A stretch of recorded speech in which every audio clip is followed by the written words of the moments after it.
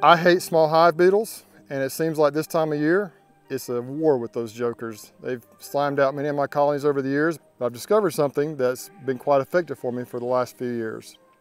I use these Dixie H700 disposable towels. They look like this. There are 150 of them in a box, so they'll last you for a good long time and, and treat a lot of colonies.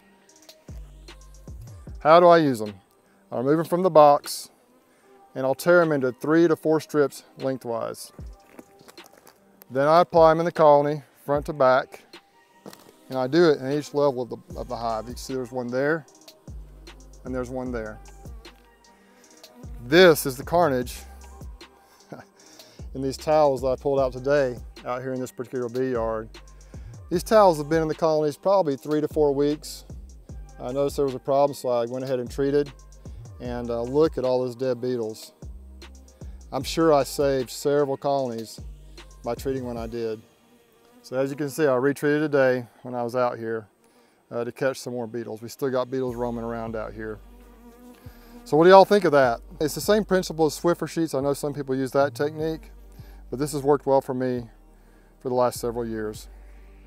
I know some people use different techniques, and by all means, use what works best for you. But I just thought I'd share this tip I hope it helps.